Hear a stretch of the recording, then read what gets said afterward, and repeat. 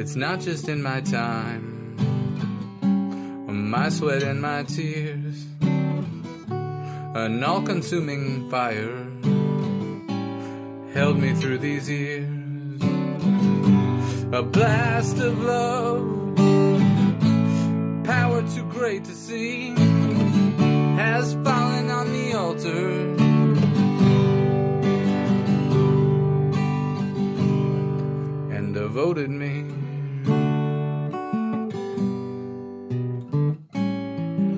I gotta, I gotta, I gotta say, we doing, we, we we're doing very good. We're doing very good. Don't, do not be disappointed in yourself. Be encouraged in the Lord. All right, all right. So welcome. My name is Jamal Sanders, and today what I'm gonna do is an overview of the Devote brand. Now, the Devote brand does have paid services such as photography and videography, but make no mistake about it. The underlying cause of Devote is to do nothing less than to bring glory to God through His Son Jesus.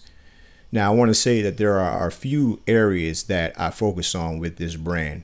The one that is the closest to my heart is the Bible studies. And the most recent success in that area is a virtual group reading weekly Bible study. And this creates this creates a situation where now the Lord gets involved and says, "Okay, if that's what you want, then that's where I'll send you." Well, that's, right. Yeah, that basically that's so you base that's basically summing up what we just read, right? With Ahab, and that's what he, that's basically what he was. He just wanted the words that tickled him, that tickled his what he wanted to hear. And that's where a small group of us got together, and rather than reading the Bible on our own and discussing it later, we would actually read the Bible out loud to each other just as it was. That was an important aspect of this because so many people who have received teaching on the Bible learned through the perspective of somebody else, but they never had the opportunity themselves to see what's written in the text and to do so in a way that doesn't skip around. We literally started at Genesis and at the present time we are in Second Chronicles chapter 20. Now another successful aspect of that meeting was the fact that it was able to happen during the pandemic Many church leaders were having trouble interacting with people in their congregations, and people who were not in the habit of reading their Bibles at home were struggling to find out how to practice their faith without having a place of worship to attend. But because we had already practiced these things, we were able to continue during that difficult time when so many people were struggling. Another major area of focus that we would like to grow more in is in depth documentaries. Now, documentaries are essentially when you condense a large topic into an organized piece so that people can understand the magnitude of an issue without spending all their time researching it. So, what you have is something that may have occurred over several lifetimes and it needs to be boiled down into just 30 or 60 minutes. Within that 30 or 60 minute time frame, there could easily be anywhere from 100 to 200 clips, all that need to be processed individually, color graded, and edited to make sure they look correct. Um, these these documentaries are typically uh, persuasive and educational, and I say that just so you have an idea about the tone of Devote, which is that we are not a neutral brand. Um, so I don't typically take on any projects that um, would not in some way support or at least accommodate healthy Christian values. And the documentaries tend to be those that will promote the better or longevity of such. So, the overall process, the first step is to ask a question. And that means you see something and you ask yourself, why is this happening? The next thing is that you're really seeking God for answers. So, I'm not just pulling down research papers and looking at YouTube videos and Googling things. This is an experience where we're actually praying and seeking God for guidance about that particular question.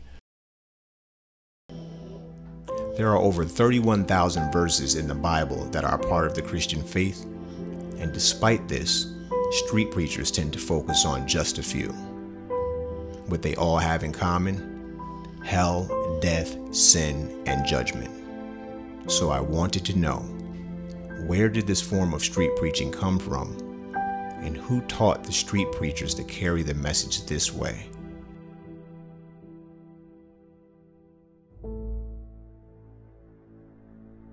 So there's research, there's writing, there's narrating, there's audio recording and voiceovers. There is the actual shooting of the footage. There is the organization of large amounts of content into a seamless timeline. And then there's the video editing process itself. And so I would always underscore the video editing component because a lot of people know that editing take takes time but even within the world of editing there's there are levels to what extent one goes to to make sure that they have a quality product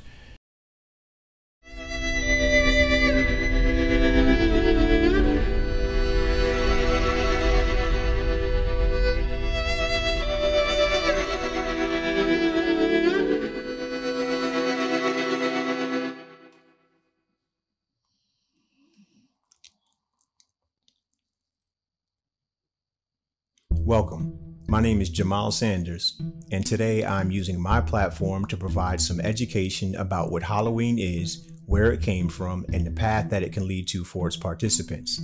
During this presentation, we tend to not take the shorter path to ensure that the learner or the person who is engaging with our content has an experience that is enhanced. So a brand wouldn't be a brand without the basic necessity of some type of merchandise. Now I'm very careful with this because I do not believe in selling merchandise along with ministerial content. You will not see a website with my Bible studies and then something for sale next to it. I see them as two separate things. Ministry content should never have a price tag attached to it.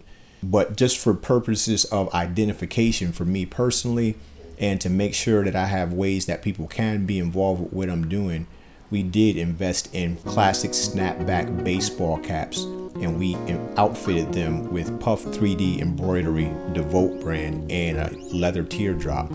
We could only get that done through a fantastic embroiderer in New Jersey, New York named Amaze. They're on Facebook. Everybody else told us that the design we wanted to do wouldn't work for a number of reasons, but all we did was sent in a couple hats. We got back a couple examples, and from there, we were able to go and have the rest of our order process. Since then, we sold those hats to mostly family and friends who support what we're trying to do. And we're very excited about the fact that there's some interest in a female version of this hat, of which is now in production. I would say, among all these things that I've just talked about, the one that I've probably been involved with the longest is the music. I've been a producer of hip hop and gospel R&B for a long time. I'm another kid that came through the 90s, so that whole era of music is something that I understand really well. Um, I have some vintage equipment that I use sometimes to reproduce the effect of some of the music that was done during that time. And there's other times where musically I veer away from the culture that I grew up in and do what is what will help a visual story. I can't tell you how I feel. By your stripes I'm healed. Said I'm not going Seems that we need communication here just waiting here. Done left the rear, right here.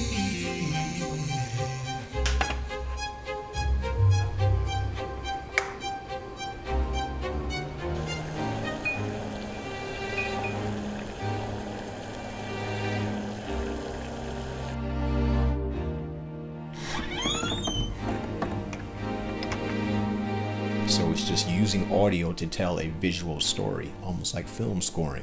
Well, the most recent announcement that happened in the area of music was that we released a song called Can't Tell You. Stop moving, all the devil got you. Never stop using all the tools you got. Use your mind as a weapon, your spirit is a clock. Oh, I ain't even mean to drop bars on the verse, verse on the block. You could have just pressed stop, but here you are listening to the whole plot. You should have brought the whole shop. Books at the dollar store, dollar pop, take them out, get a word. We want to thank everybody who promoted that song and reshared it for us, gave us the confidence to just get it out there, regardless of whether or not we can get it onto the major distribution platforms.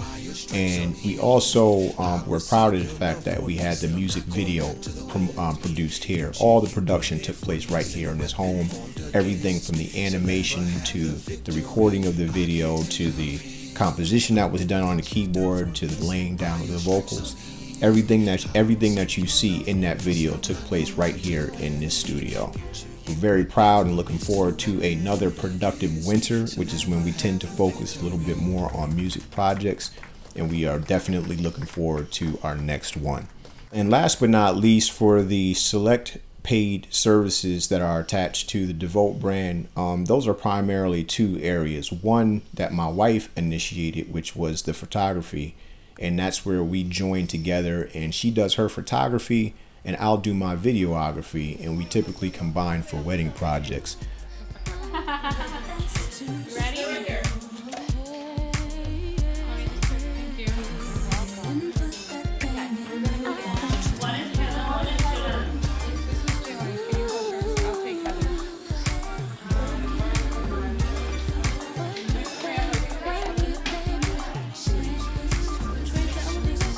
The other area of services that I that I personally do is auto cinematography.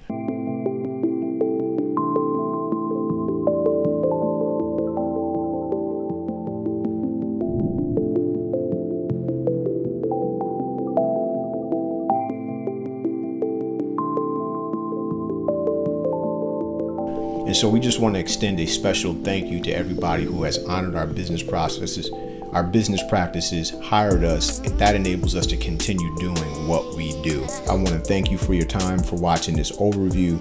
I want to thank you for your support and prayers. Stay devoted all the time, and most of all, stay encouraged in the Lord. God bless you, God bless you, and God bless you.